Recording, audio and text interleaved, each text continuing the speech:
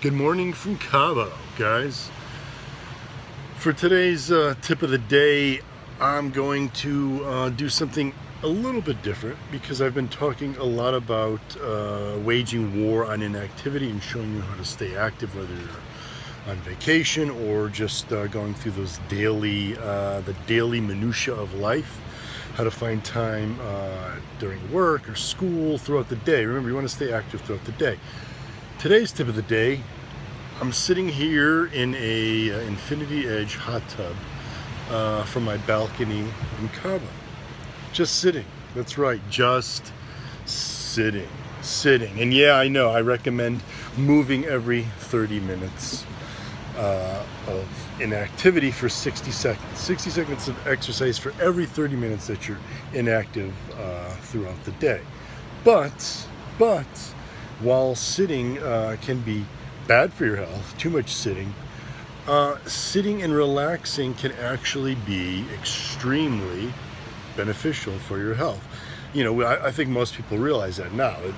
Medicine, uh, you know, they say things like laughter is the best medicine, and, and it's really true. Research actually shows that uh, when people experience, you know, sort of awe-inspiring um, you know, experiences, whether it's traveling to the Taj Mahal, traveling to uh, Cabo, they have lower uh, IL-6. Now IL-6 stands for interleukin 6. It's a type of cytokine. It's actually one of the, the uh, molecules that I used to study uh, during my doctoral work uh, at the University of Connecticut. IL-6 is an inflammatory cytokine. It can cause inflammation throughout the body. So having lower levels means you have less inflammation.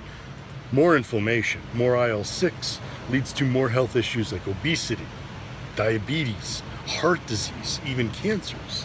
So having lower IL-6 can be very, very beneficial for your health. Meaning, get out, guys. You gotta, you got to, you gotta stay active, stay active, stay active, but also take time to relax and enjoy your life, enjoy your surroundings. It's absolutely critical for your health.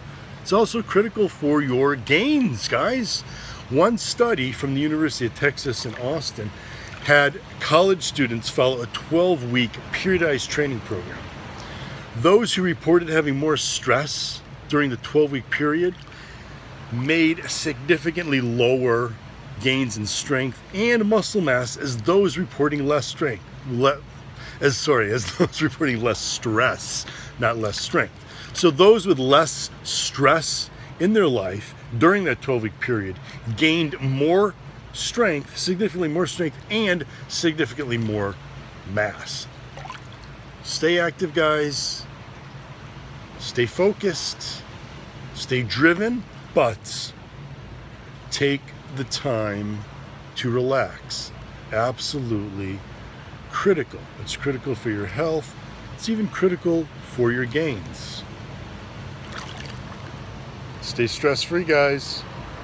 Stay JYM Army strong.